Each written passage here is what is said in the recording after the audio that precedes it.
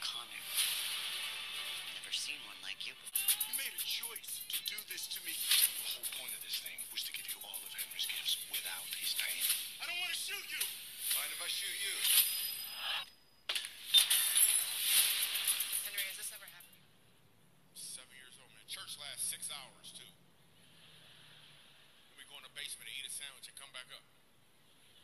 I'm like, what was that, halftime or something?